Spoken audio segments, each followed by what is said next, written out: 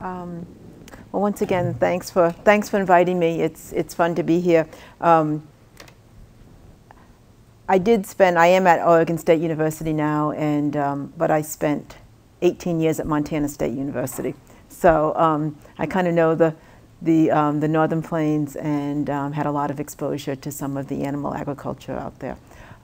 so my my talk is adopting policies and priorities um, that might help encourage some of these these activities that, that we'd like to see. And um, I guess one other observation that I had is, you know, just walking outside in the in the lobby, in the 10 years that I've been, or 12 years or more that I've been seriously doing climate change, um, there's been a sea change in terms of what's happening, in terms of people not just not embracing as much as but seeing the economic opportunities associated with some of these changes. And that's a really good thing. It's going to you know 15 20 years ago i was doing climate change research in montana um, and a group of um, growers gave us a t-shirt and the t-shirt said montanans for climate change and it showed people shivering and things like that. And so it was a, it was a very different environment that um, it, we were questioned why are we doing climate change. And I think that has been a, a really kind of a, a theme going on here is that, you know, there's winners and losers. There's some people that will benefit from this, and I think what we need to do as a whole is to, is to try to design policies that are also climate smart policies and that will speak to the benefits of doing both of those. Okay, so the themes I want to talk about um, once again, I will probably not spend a lot of time on this, but just what do we mean by this climate smart agriculture concept, some of the policies and goals, and how do we get there? And once again, integrating economics, as we've heard in many of the presentations this morning, is really critical. It's got to be economically viable, economically sustainable, or, you know, then it's just an exercise if not. And so we really need to pay attention to that. Um, Background, of course, science has always led to better policy. We'd like to see it lead to better policy faster, but um, I think that's been the history of this integrated research. But the details are important, as I said. We need to know how do we integrate um, across the sciences. And there's been, like I said, a lot of work in the economics area that I'm involved in on um, efficiency as well as other values that we, that we care about, poverty, vulnerability, um, natural capital ecosystems, and so we can, let me just move a little bit from that. Okay, so climate smart agriculture is kind of a very recent term. It's been defined by FAO in 2010, and it's composed of basically three pillars there. One is to increase um, sustainability, sustainably increase product productivity and incomes, adopt and build resilience, and then um, deal with the greenhouse gas emissions wherever possible. And I think this was a, a, a, form of yours too. We're looking for that sweet spot that we can, and hopefully it's a little bit bigger than the red one that you showed. I'd like to see that be expanded.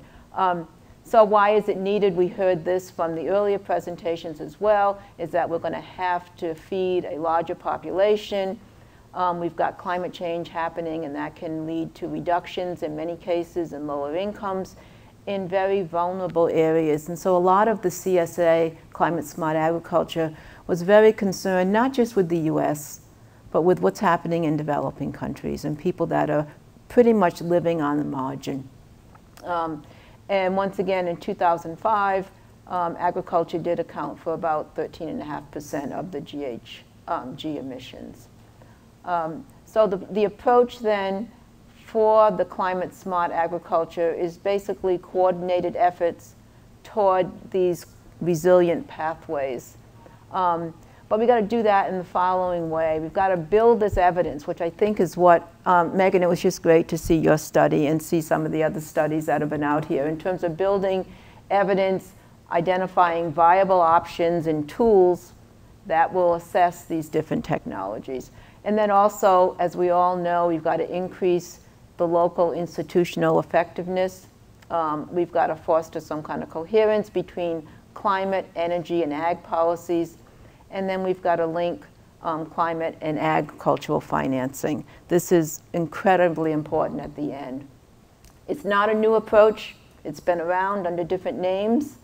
Um, there's a short history there. Like I said, it really has been in the last five years that it's been kind of recast as this climate smart ag as opposed to um, just dealing with a changing climate or with sustainability and resilience.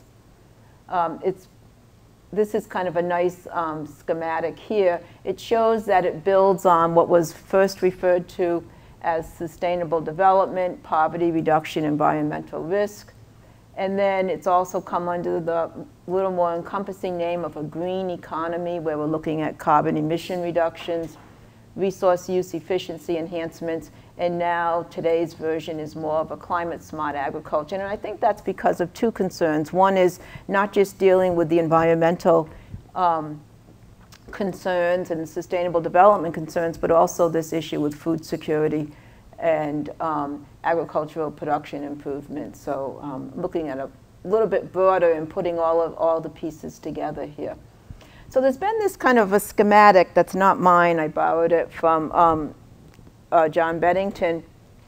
And the, this schematic really talks about these goals of climate smart agriculture in terms of a safe operating space. And the safe operating space really is from a very um, you know, high level view is we want to sort of increase that sweet spot or that safe operating space in there such that the bigger it is, the more resilient we as a planet, we as a society will be in terms of being able to adopt to more changes going on and things like that. So if, if that sweet space and that safe space is really the space that's sustainable is very small, then we're kind of pretty fragile in terms of some of the, um, some of the things we have. So those three um, lines there, the orange lines, are basically represent some relationship between food production and climate change. So the climate change due to the food system means that as we get more climate change happening, uh, as I'm sorry, as we get more food production occurring under the existing um, technologies, we're going to see more climate change or more greenhouse gas emissions occurring.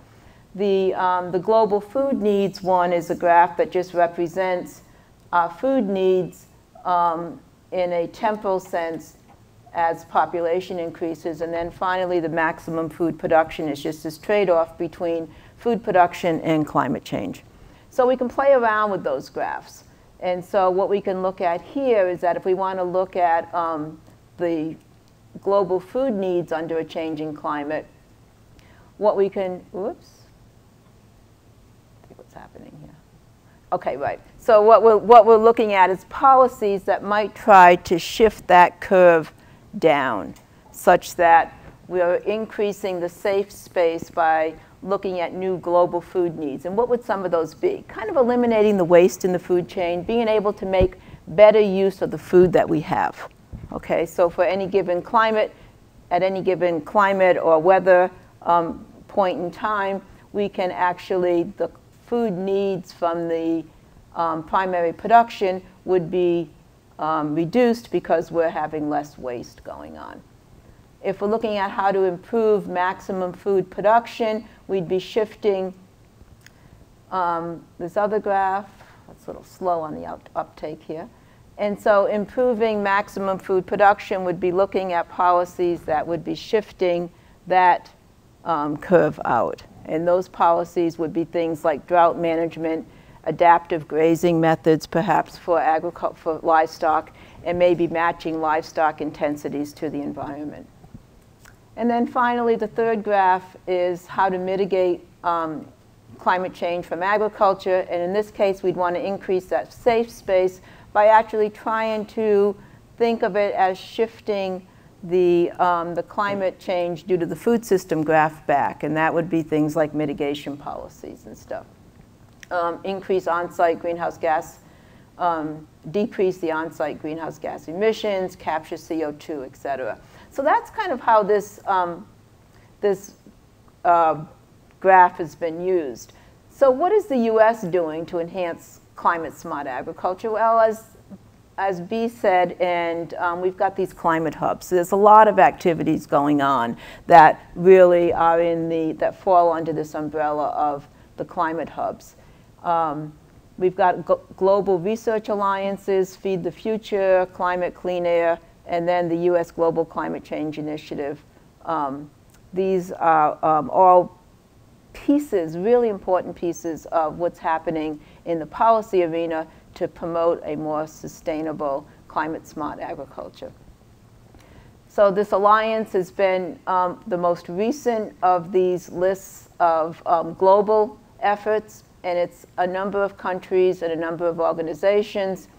Um, the problem is it doesn't have a lot of teeth to it. There's nothing mandatory about this. It's all voluntary. And I'll talk a little bit about that in a few minutes. So the key characteristics, once again, it's voluntary. Um, however, it's trying to develop these enabling environments that would encourage the adoption of some of these approaches. Um, and it's also engaging with business foundations and civil um, society, et cetera. So turning to a little more policies in the U.S. So the question that we ask in a lot of the research I do is, so what about the Farm Bill? What's happening with the policies that uh, we currently have in the Farm Bill? Do they incentivize resilience to climate stresses that are consistent with climate smart agriculture? What types of tools, policy tools, might be available to promote a more climate smart agriculture? And most importantly, what do we need to know and what do we know? And how, how is that gap being, being filled? So the Farm Bill, everybody here knows it's basically the primary ag policy tool. There's different titles in the Farm Bill. Um, 12 of them, the ones I circled, are primarily the ones that work to um, deal with some of the climate smart agriculture. The three orange ones deal with commodity programs, conservation, and crop insurance. And then we have a research title in the Farm Bill, which indirectly is probably the strongest um, piece of legislation that we have to continue to fund some of the research that's needed. Megan, I think you know your, your, yours is a great example of this type of um, policy. And then the distributions. So I looked a little bit at some of these um, different um, titles and, uh, um, in the Farm Bill, and the plus next to it means that I think it is moving us in the direction of climate smart agriculture. So conservation compliance, um, basically limits conservation um, requirements to crop insurance premiums, et cetera. The farms that have highly erodible lands or wetlands have to follow this conservation program um, to receive the government payments. And um, so the question is, what happens with the conservation compliance? It's a shift toward working lands. There's an EQIP program. And so in terms of my safe space diagram, I think that the conservation can result in an outward shift of the food system curve, which is going to increase that safe, that, um, that safe space and helps to stabilize food production. So manure management to curb greenhouse gas emissions. I'm trying to do a little bit with respect to um, the, um, the animal agriculture. Costly, but but effective for greenhouse gas emissions is these anaerobic digesters. There's a, there's a great study at WSU that was done around 2010. Um, currently, the economic viability hinges on how to finance and the potential revenues, so the operating costs versus the capital costs. The revenues um, from somebody operating a digester come from electricity and renewable fuel, the fiber products and the nutrients that are byproducts, carbon credits if they were to exist, and then payments for ecosystem enhancements. And once again, another case of shifting and making that safe space bigger. Commodity programs, I'm just not going to spend a lot of time on these because I think most people are familiar with them. But the commodity programs, covered commodities include wheat, oats, barley, etc. They can cause this safe space to increase perhaps by improving the maximum food production, but as we all know, there is some downsides with some of the commodity um, programs, and so they, that's why I have a plus and a minus up there. They may increase their income, make them more resilient, but it doesn't necessarily encourage adaptation to other programs that we may want in, to deal with climate change. Drought management. Basically, the drought management um, policies could encourage flexibility and increase resilience. The earlier paper that Justin did is a great example of um, what can happen if we were to get proper drought management policies in place or better drought management policies in place. And so once again here, I think I've got the drought management could also basically increase the safe space by sort of shifting the, um, the maximum food production curve out. Um, adaptive management, AMP, grazing management, this is another um, uh, policy, short intensive grazing followed by long recovery. So once again, looking at how do we graze those, how do we graze those lands. The claim in some of the studies is that cattle grazing using this um, AMP may increase productivity and store more CO2. So that's one of the claims. The adaptive, it's adaptive, it's, it is an adaptive type of carbon capture and storage. The question is, it really hasn't been quantified, and in order to quantify those claims, we would have to be, we would have to be able to go out there and measure the increase or the decrease or the change in soil carbon um, as a result of this AMP versus um, the current system that might be in place. And then we need to know the economic dimensions, what's happening to the weight of those animals, what's happening to some of the products going on. Um, and once again, this could be a case of increasing that safe space for climate smart agriculture. So designing policies, just a few more minutes and then um, take some questions. Designing policies, fundamentals is that incentives matter. Economists are always coming back to this we need to understand those trade-offs and the opportunity costs. Um, I can skip over this. Okay, so some of the tools that we have that we're developing for better informing our policies are both at the landscape level as well as at the um, farm level. So once again, our premise is that farmers and ranchers are the ones that are making the on-the-ground decisions. And so I think it's really important that we develop tools for them to use. And so at the landscape level, these are the ones, these big models, the SWAP model, the EPIC uh, model, and then we have one at Montana State, I mean at Oregon State called the trade-off analysis model. It started at Montana State. Um, at the farm level, these are the ones that we were, um, that have been, we've been looking at. Ag Tools or Ag Biz Logic, which is the one that um, B um, talked about is, comes under these farm level decision tools. And basically they're designed to help growers or ranchers make operational choices. Um, the, ag, the ag tools on the, um, on the right-hand side there is basically our software which, can, which is being developed now web-based and it has a number of sub programs in there, Ag Profit, Ag Lease, and Ag Finance, and then Ag Environment. This is, once again, the same, um, the same flavor and theme that Justin was talking about in terms of what he was looking at. So the farm level decision tool, this AKA, we've nicknamed it TurboTax platform for two reasons. One is that it's going to take information from the growers' um, tax returns and populate it into this program. But it's also one that allows the growers to be able to fine tune it for their situation. So what has been, what are their list of inputs? What has been their, um, their experience in terms of um, yields or outputs? And so the decision tool has these kind of components to it. The first is we want to use this platform to ask questions, for the grower to ask questions, you know, should I change my crop rotation or my um, grazing rates and invest in new equipment or invest in other kinds of inputs? Based on expected changes in climate and crop yields that may come along with some of the um, climate changes that we're seeing.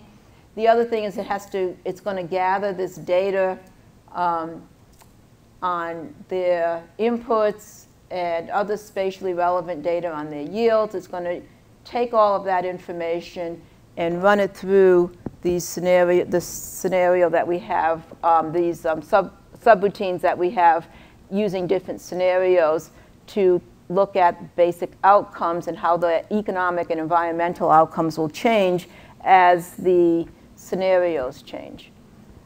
So we've done this with the wheat and this is what um, B was referring to. We ran through this um, ag tools with and without climate change, and we show that, yes, in order to deal with and adjust to climate change, this farmer, this um, farmer would be better off switching his annual cropping rotation to something that includes seed oil and canola. So once again, just comparing those, those two um, bottom um, circles there. So the application, so I was thinking a little bit about the application of ag tools to livestock, and Clark Seavert is doing this. And I think one of the big um, pluses of a tool like this is it's going to allow the growers to make sense of all of the data that they have, that they're, and make sense of it on something that means something to their operation and not just here is a typical ranch. And so I think trying to drill down and get it to be as relevant as possible. So what, um, what we're doing, and Clark Seavert is actually doing this in Oregon for some of the livestock operations, is setting up these baseline budgets and information, making them site-specific, um, talking with growers and with ranchers to decide what are the scenarios that we need to be addressing and then to explore whether those under those scenarios, are their current operations economically viable? Incorporate precip forecast, download, downscale climate data and information. And then I think step four is really important. When I use TurboTax, I tend to um, do a lot of different scenarios on how should I, what should I be doing with my income? Should I be investing it here and here? And being able to compare those. Well, Ag Tools is going to allow a rancher or a grower to do the same kind of thing is to be able to say how much better off or worse off would I be if I were to switch um, how I manage my operation when we see changes in climate coming or changes in prices or changes in technology. So it's going to be used in a relative sense as opposed to an absolute sense and being able to allow the grower or the rancher to be able to explore those and understand those trade-offs. And you know what? I can stop here because this is, this is kind of repetitive of what other people have, I think, come up with, what is or uh, has presented. What does climate change mean for agriculture, some of the direct and the indirect impacts. And so this gives me a flavor of what are the kind of things we need to be modeling and capturing in a tool like Ag Tools. Um, yeah, I can just stop there. Great, thanks. And I know we have the governor coming on in about five minutes, so. Yeah, but I think he's. Um, Late? I think he's probably coming a little later into lunch, but. Yeah. Okay, great. Nice presentation, I like it. One question for me, maybe I missed it or you mentioned it, is, uh, in Western Hemisphere, we don't have that much uh, problem with production of agricultural food or whatever. Uh, I think the problem is mainly the distribution of it. Where sure. does the distribution uh, lies in comparison with safe space that you have created on those? Yeah, I don't think it is actually captured that well because that's a much high level um, issue. You know, I think you're exactly right. You know, we talk about food security. We probably have plenty of food on aggregate. It's just not in the right places at the right time. And so I think that that is an area that hasn't been captured, at least in that diagram. It has been, people are paying a lot of attention to it. You know, Oregon, um, we're pretty wealthy in terms of, you know, the outside world looking in, but we've got a lot of hunger and a lot of issues. And it's, you know, so it's not just the aggregate that's important, it's the distribution and it's looking at the winners and the losers. And usually the losers are oftentimes low income. And so paying attention to some of those, those concerns as well and not just always feeding more. I think the other thing on, a little bit on that food demand is, you know, that there's a lot of effort going on on trying to minimize the waste. If you look at some of the statistics on how much food is wasted and thrown away and not consumed or used, you know, if we can minimize that, then the amount of land we need to bring into production or other types of um, may be much less than we think if we can get some of those numbers down. So, yeah. Sure. Yeah.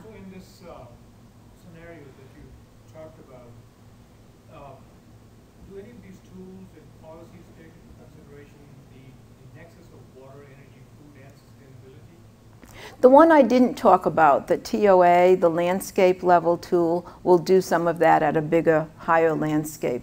And um, in that one, what we actually have is trade-offs between some of the environmental outcomes. And then we've modeled the agricultural outcomes as a grower may produce a commodity as well as produce um, ecosystem services, for example, or carbon offsets. Or that commodity, he could make choices or she could make choices between producing some of the grain crops for actual grains versus um, energy. And so there could be those, those kinds of things brought in. But at the landscape level one, at the um, farm level one, no. Mhm. But that's a, that's a great example, one of USDA's new um, calls for propos, not USDA, I guess it's USDA. Is it that the one that has the food, food systems, energy, and water nexus? Yeah. That one is, I think, really, really important. It's hard to, um, yeah, we need to capture those complexities on, you know, what gives there. Then I just a quick question. Sure. Is there any component with consumers um, buying and encouraging climate smart um, ag with products? Is there any with labeling and, um, Yeah, I don't know for sure. It's not my area. There probably is. I guess it's probably something where people are looking at the consumer demand, how much more are people willing to pay. Could this be the more interesting part of what you have is, you know, can this be somehow marketed? That this was, I guess it gets into the area of sustainable or, you know, not organic but produced sustainably. So.